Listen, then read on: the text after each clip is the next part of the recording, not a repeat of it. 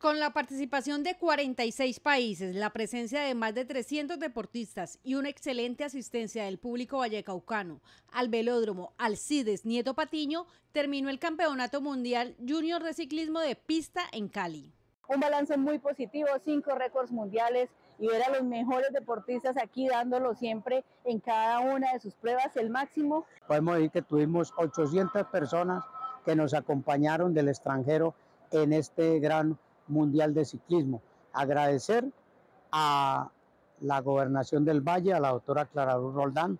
De las cuatro medallas obtenidas por el Mundial, el Bayero Puro se hizo presente con Natalia Martínez, quien obtuvo una medalla de plata en la prueba del Keirin. A mis papás, toda mi familia que me está apoyando y demás personas que hacen esto posible, a Inder Valle, que siempre me está apoyando.